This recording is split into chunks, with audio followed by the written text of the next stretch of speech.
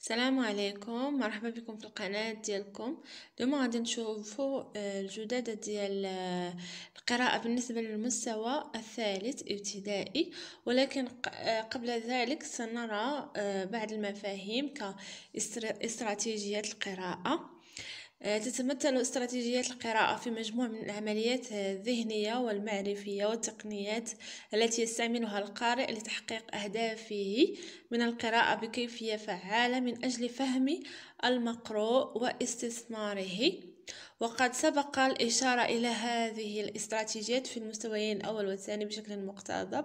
أما في المستويين الثالث والرابع فستستثمر لتدريب المتعلمين على تنمية مهارة القراءة من بين الاستراتيجيات القراءة المتداولة في الأدبيات التربوية. يمكن التمثيل بما يأتي. لدينا استراتيجيات ما قبل القراءة واستراتيجيات ما مرحلة القراءة واستراتيجيات ما بعد القراءة.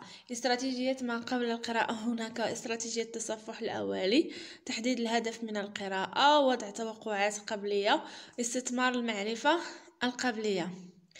آه، استراتيجيات مرحلة القراءة.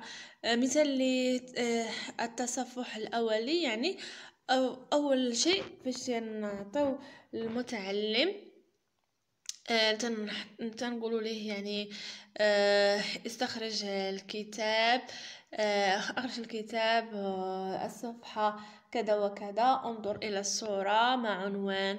يعني وهنا تنحددوا ليه الهدف من القراءة وتعطينا توقعات قبلية يعني قبل القراءة.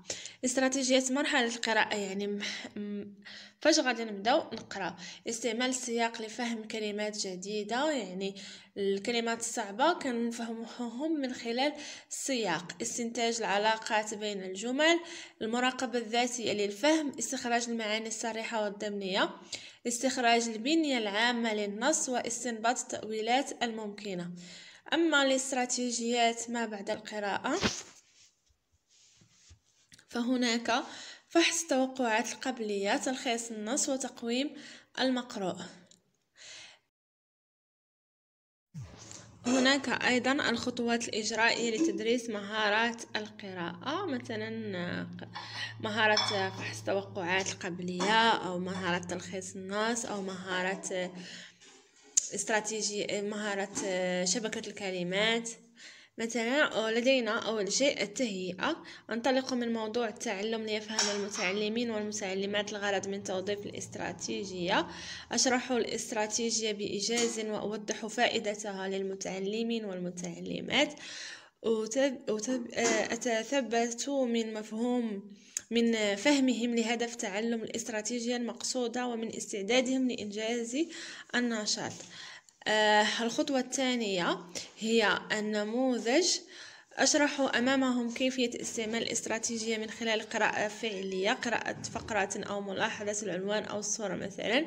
أصف بصوت مسموع ما يجري في ذهني من عمليات معرفية لفهم المقروء أو أوضح التوقعات أو الفرضيات حول مضمون النص.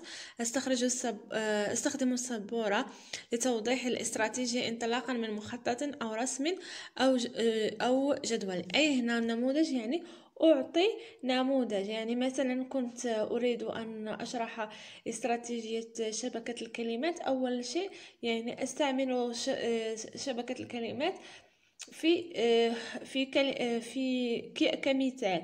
يعني أعطي مثال. يعني مثلا أعطي مثال لهذه لشبكة المفردات. يعني أنا اللي أنجز النشاط. يعني كنموذج. الممارسة الموجهة وجه المتعلمات والمتعلمين لتوظيف الاستراتيجية مقدما توجيهات صريحة ومباشرة للتدريب للتدرب على استخدامها. أراقب وأقدم المساعدة والتوجيه والتشجيع وقد أشاركهم في استخدام الاستراتيجية لتيسير التدريب عليها. يقوم المتعلمون بإنجاز الأنشطة المتعلقة بممارسة الاستراتيجية المعنية أقدم توجيهات صريحة ومباشرة توضح المطلوب آه، قراءة فقرة أو ملاحظة العنوان أو الصورة. مثلا الممارسة المستقلة. يمارس المتعلمون والمتعلمات الاستراتيجية المعنية بكيفية مستقلة يعني المت... تنعطيهم واحد, المثال وتيخدموا عليهم كل شخص بوحده وأنا أتنقل بينهم لمعاينة استخدامهم لها. وملاحظة ما إذا كان هناك صعوبات مشتركة تقتضي تقديم دعم مشترك أو صعوبات فردية تقتضي دعما فرديا أو في مجموعات. أقدم عند الحاجة الدعم الفردي أو الجماعي لتحقيق الممارسة المستقلة. وأخيرا لدينا التطبيق. يطبق المتعلمون والمتعلمات المهارة المستهدفة لتعزيز إتقانهم للمهارة المكتسبة واستخدامها في مواقف جديدة. لدينا أيضا استراتيجية الفهم وإغناء الرصيد المعجمي هي مجموعة مجموع العمليات الذهنية والمعرفية والتقنيات التي يستعملها القارئ لتحقيق أهدافه من القراءة بكيفية فعالة. كل قارئ يستخدم بكيفية واعية أو غير واعية استراتيجيات آه، معينة من أجل فهم المقروء أو التفاعل معه أو استثماره. ومن هذه الاستراتيجيات لدينا استراتيجية عائلة الكلمة التي تعني الاشتقاق. صيغ الك... آه، هي آه، صيغ الكلمات المشتقة من جذر معين ويتم الاكتفاء آه، عادة ببعض المشتقات التي تشمل صيغ الفعل الماض والفعل المضارع والمصدر واسم الفاعل واسم المفعول. ويكفي ويكتفي بالصيغ الداخلة في الحيز المعرفي للتلميذ مثال لعائلة الكلمة عائلة الكلمة كتب مثلا آه، آه، عائلة الكلمة لكتب عندنا مكتب مكتوب كاتب كتابة مكتبة. هناك أيضا استراتيجية شبكة الكلمة وهي الشبكة التي يتعرف بواسطتها التلميذ على الحقل الدلالي للكلمة لكلمة معينة مثل مثل لشبكة الكلمات مدرسة. عندنا مدرسة أستاذ ساحة كتاب قسم مدير تلميذ. فهذه شبكة الكلمات كلمة مدرسة. هناك أيضا استراتيجية خريطة الكلمة. آه، قبل ذلك آه، أشير بأن لابد إذا كانت القراءة أو لدينا الحصة التي تقدم يعني الحصة الثانية التي تقدم فيها المعجم لابد أن نعطي نموذج من هذه الاستراتيجيات الاستراتيجيات كخريطة الكلمة ولا شبكة الكلمة ولا عائلة الكلمة. لدينا استراتيجية خارطة الكلمة وهي الشبكة التي من خلالها يتعرف التلميذ على نوع كلمة معينة اسم الاسم آه، فعل وعلى مرادفها أو ضدها ومع تركيبها في جملة مفيدة مثال لخارطة الكلمات. فرح. ففرح نوع الكلمة هي اسم مرادفها سرور ضدها حزن ومثال لها في جملة عندما نجحت نجحت فرحت فرحا كبيرا. آه، لدينا هناك استراتيجية الخطاطة الشمسية وهي خطاطة على شكل الشمس تعين التلميذ على تجميع صفحات أو أفعال أو كلمات أو عبارات تخدم كلمة أو عبارة أو آه، تتمة موضوعين في قلب صورة الشمس مثال للخطاطة الشمسية.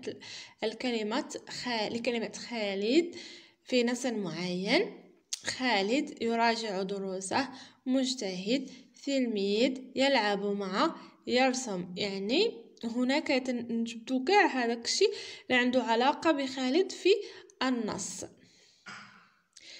استراتيجية السياق وهي استراتيجية الاستراتيجية التي تشغل تشتغل على الكلمة التي تكون لها عدة معاني.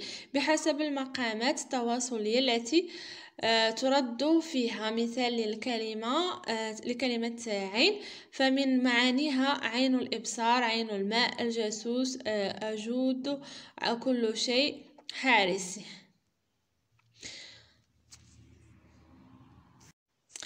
هناك أيضا تعريف للقراءة المشتركة التي نجدها في المستوى الثاني والثالث.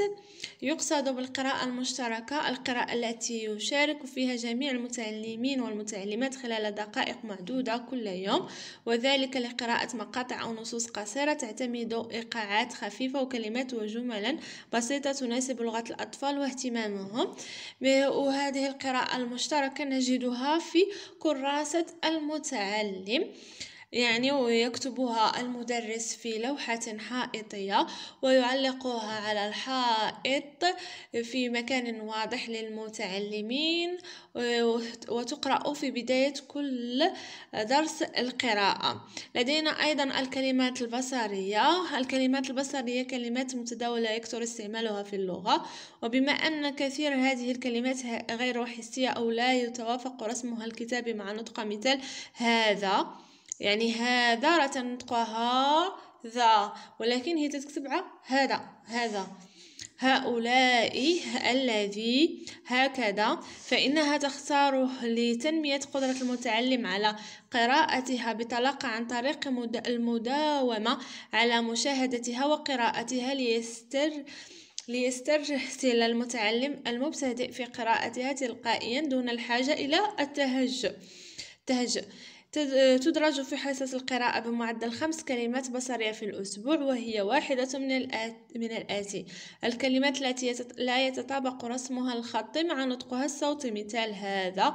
لكن ذلك.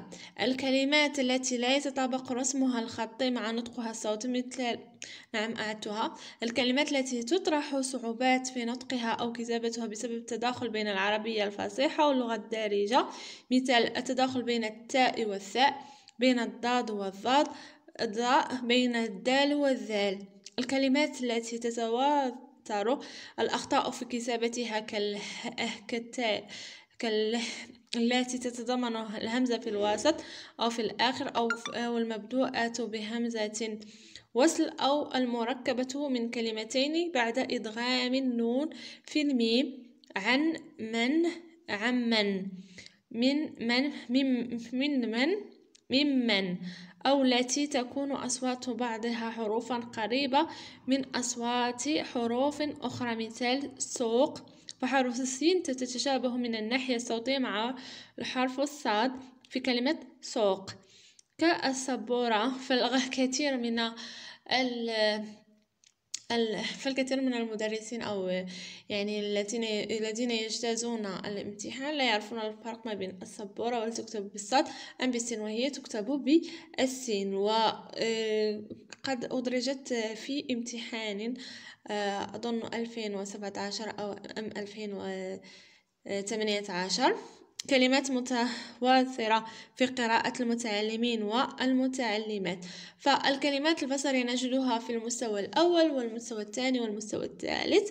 يعني هي تكتب في لوحة يعني في ورقة كبيرة أو لوحة وتعلق في جدار القسم لتقرأ بداية كل حصة القراءة.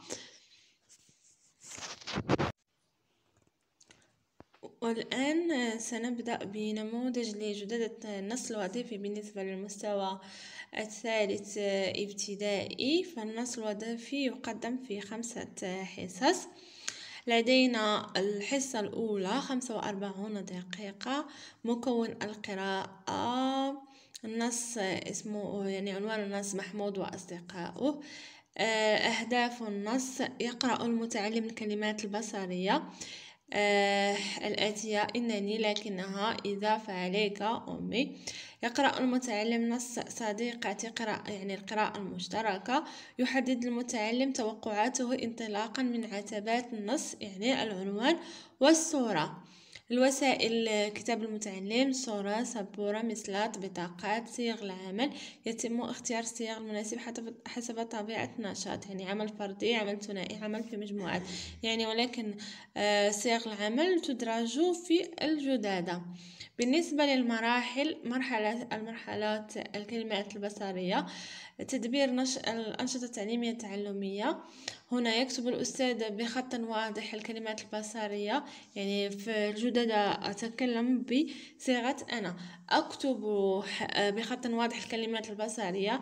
إنني لكنها إضافة عليك أمي في لوحة وأعلقها على الحائط داخل القسم في مكان ظاهر للجميع للرجوع إليها في الحصص القادمة. أقرأ الكلمات البصرية وأطلب من المتعلمين والمتعلمات ترديدها. يعني فيها بالنسبة ل آه، آه، دور المتعلم هنا فالمتعلم يردد الكلمات البصرية. القراءة المشتركة أكتب نص صديقتي على لوحة كبيرة. ها هو نص القراءة المشتركة. صديقتي تعينني في الشدة تساندني. صداقتها في وجداني لا تقدر بأثماني أجدها في اليوم العسير تؤنسني في المسير. ترشدني إلى الصواب وتبعدني عن الصعاب. يعني تعلق اللوحة في مكان يعني أعلق اللوحة في مكان ظاهر للمتعلمين للرجوع إليها خلال الحصص القادمة. أما بالنسبة آه، وأخيرا أقرأ يقرأ المتعلمين النص بصوت عالي ومعبر مع لحن مع لحن موسيقي. إن أمكن أطلب منهم ترديد النص أكثر من مرة. معي أكثر من مرة. هناك آه، لبداية آه، مراحل القراءة أهيئ المتعلمين لتلقي النص من خلال آه، مطالبة بالحديث عن أصدقائهم المفضلين وعما تعودوا القيام به برفقتهم. يعني هناك تهيئة للمتعلمين يعني هناك تهيئة. الملاحظة والتوقع. أدعو المتعلمين والمتعلمات إلى دراسة الصورتين والعنوان من خلال تأمل الصورة وتحديد مكوناتها. يعني هناك الصورتين الأولى والثانية. آه، آه، شخصي آه، تحديد مكوناتها الشخصيات الظاهرة فيها وما الشيء الذي يميز الصورتين. ما الذي تغير في الصورة الثانية؟ يعني لدينا الصورة الأولى يعني اللي تغير أن محمود كان لا يلعب مع أصدقائه وفي الصورة الثانية فهناك محمود يلعب.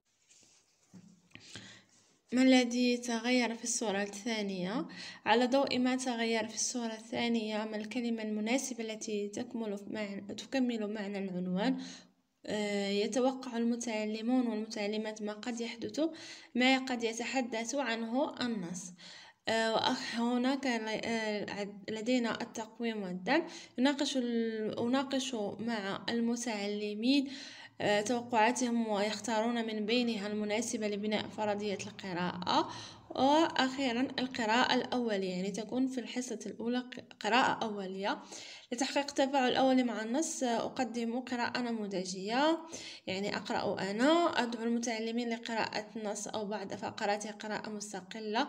يتبادلون أدوار القراءة ويصححون ذاتيا وجماعيا تعثراتهم. هناك لدينا الحصة الثانية يعني ك آه، كالحصة الأولى مكون القراءة نص الوظيفي.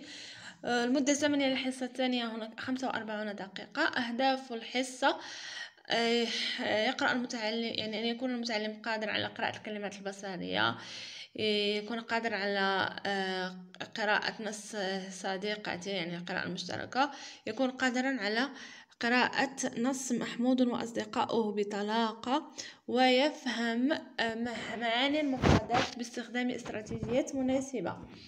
يعني استراتيجيات آه، اللي شفنا آه، في البداية ديال الفيديو. آه، لدينا المراحل هناك الكلمات البصرية. في الحصة الثانية تكون مدة الكلمات البصرية دقيقتين. أقرأ الكلمات البصرية مشيرا إليها وأطلب من المتعلمين والمتعلمات ترديدها. بالتركيز البصري عليها. القراءة المشتركة أقرأ يعني مدتها ثلاث دقائق.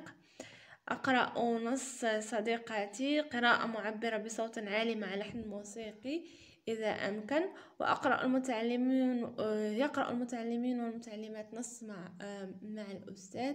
وأطلب منهم تحديد الكلمات التي لم يفهموها ويش ويشركهم في شرحها باستخدام إحدى الاستراتيجيات. لدينا مرحلة القراءة. النشاط الأول القراءة. القراءة الجهرية للنص يحدد المتعلمون والمتعلمات عنوان النص القراءة موضوع الدرس. يقرأ الأستاذ نص القراءة موجهة يراعي فيها جودة الإلقاء ووضوح نبرات الصوت مع استحضار التلوينات التعبيرية ويتتبع المتعلمون والمتعلمات قراءته على النص. القراءة الموجهة يعني هناك استراتيجية هنا هناك. القراءة الموجهة يقرأ الأستاذ مع متعلميه فقرات من النص بعد تذكيرهم بصورة احترام علامات الترقيم مع محاولة القراءة بطلاقة. القراءة المستقلة يقرأ المتعلمون والمتعلمات نص القراءة هامسة بقراءة هامسة في الآن نفسه بشكل فردي. النص النشاط الثاني التطبيق.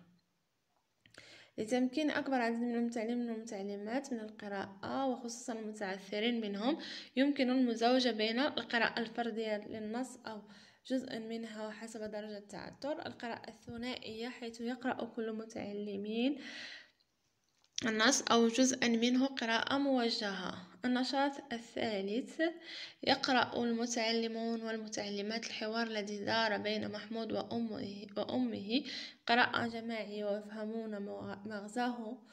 والنشاط الرابع يشخص المتعلمون والمتعلمات الحوار السابق ويتبادلون الأدوار فيما بينهم. إغناء المعجم مرحلة إغناء المعجم يستثمر الأستاذ يعني أستثمر أنا أنشطة إغناء الرصيد المثبتة في كراسة المتعلم. الرامية لاستخدام استراتيجيات متنوعة للمفردات ويمكن استثمار هذه المحاولة لتناول الكلمات المحطة لتناول الكلمات الجديدة التي يحددها المتعلمون فيما قبل. وأخيرا مرحلة التقويم ودعم يمكن للأستاذ أن ينظم مسابقة في طلاقة القراءة الجهرية مركزا على نص الحوار المشار إليه سابقا.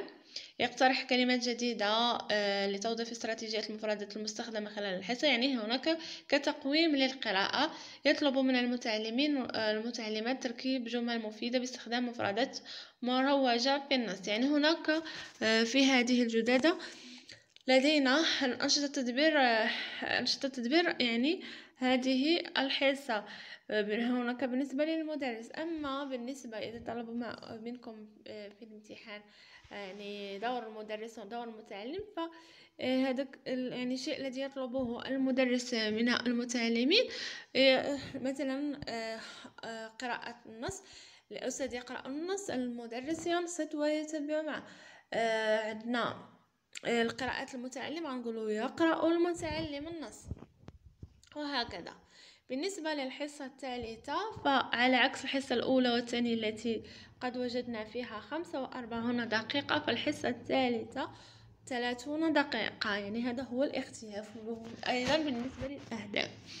أن يكون المتعلمون قادرون على قراءة الكلمات البصرية.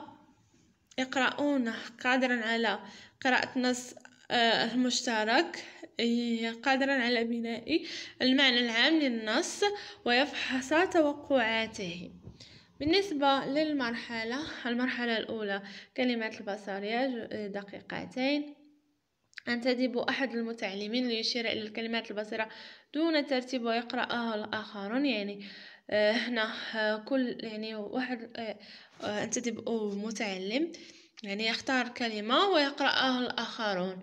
يعني ماشي بالضرورة نقراها بالترتيب. وأيضا كلمات البصرية يعني إذا كان عندنا واحد تعثر فالمتعلمين آه، من الحصة التالية أو فيق... ماشي نبدأو نقراوها من يعني بالترتيب. فمن الأحسن نقراوها يمينا يسارا يسارا يمينا أو من الأعلى إلى الأسفل أو من الأسفل إلى الأعلى.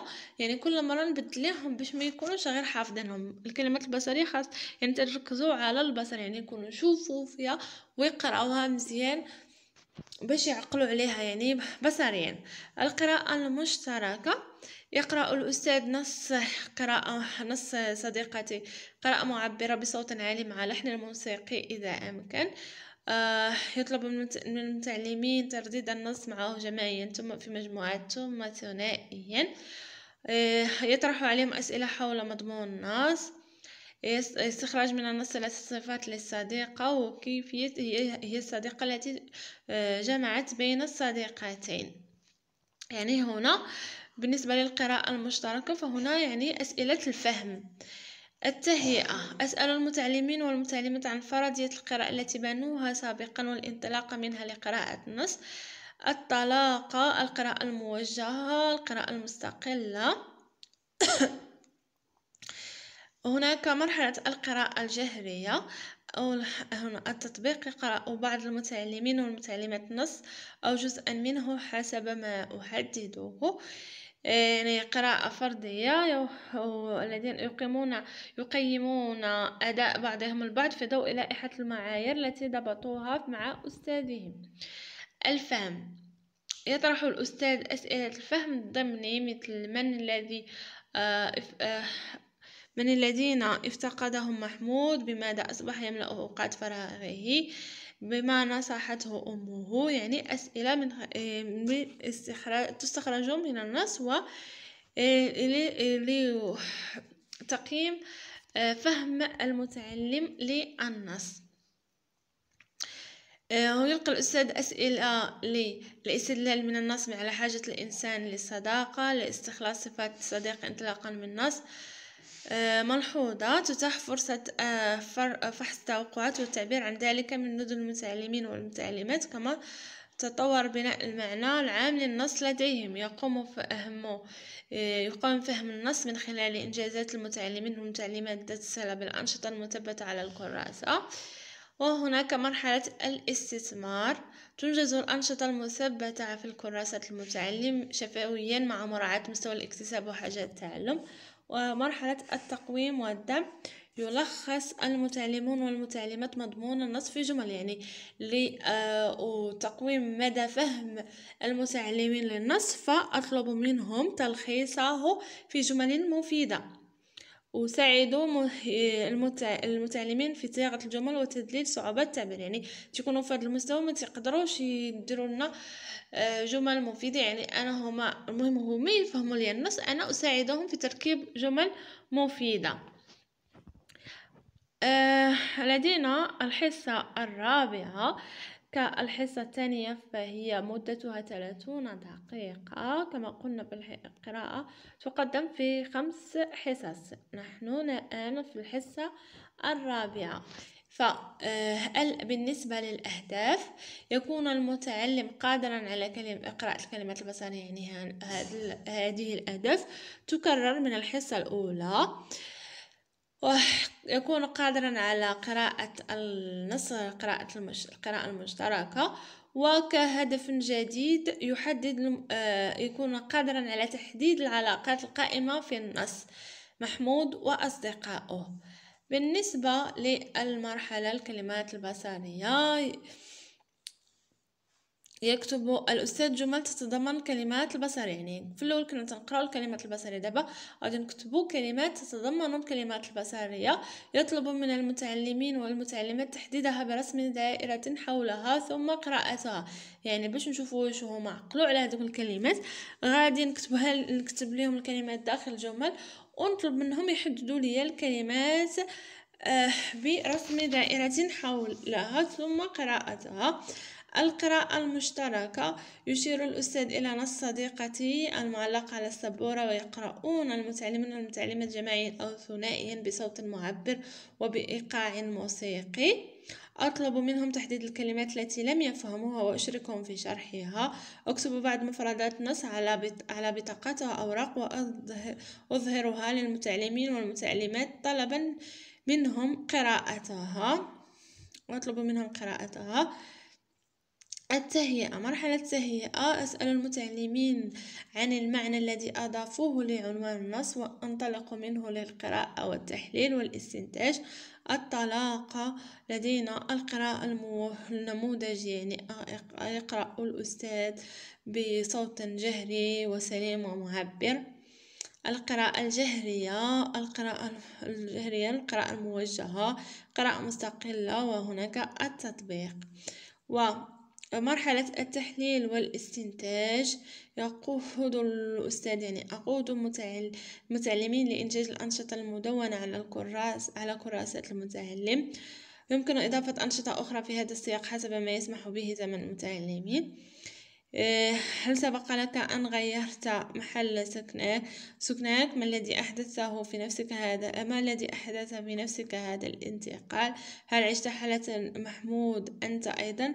فافتقدت فافتقدت أصدقائك ومدرستك وحيك القادم. يعني هناك التحليل والاستنتاج. يعني أقدم استنتاج للنص. وكتقويم ودعم آه، أقترح على المتعلمين إنجاز رسم أو شعار يعبر عن الصداقة. وهناك أخيرا المرحلة الحصة الخامسة مدتها ثلاثون دقيقة. يعني كانت عندنا في الحصص الأولى خمسة وأربعين خمسة وأربعين والحصص الثلاثة الأخيرة مدتها ثلاثون دقيقة. الأهداف فالهدف الأول مع الثاني فهم يتكررون. هناك الهدف الثالث أن يكون المتعلم قادرا على تعرف أنواع الكلمة. يميز بين أنواع الكلمة اسم فعل وحرف عندنا المراحل الكلمات البصرية القراءة المشتركة. القراءة الجهرية. آه، هناك الكلمات البصرية يعني يكتب الأستاذ جمل يعني كالحصة الأولى ويطلب منهم إحاطتها بدائرة قراءتها هنا القراءة المشتركة يشير المتعلم إلى نص والآخرون يقرؤونه جماعيا يعبر المتعلمين والمتعلمات عن المعنى المعطى للصداقة من خلال النص. القراءة الجهرية يدعو المتعلمين والمتعلمات لتذكر معايير القراءة الجهرية يحددون معايير القراءة الجهرية يقرأ المتعلمون والمتعلمات نص أو جزءا منه حسب ما يحدد الأستاذ. يقيمون أداء بعضهم البعض في ضوء لائحة المعايير التي ضبطوها مع أستاذهم. وبالنسبة لمرحلة الاستثمار هناك لدينا نشاطين. النشاط الأول. يدعو الأستاذ متعلمي إلى ملاحظة الكلمات الملونة قصد تصنيفها بحسب المجموعة الثلاث أسماء أفعال حرف يعني هنا وهذه المرحلة مرحلة القواعد.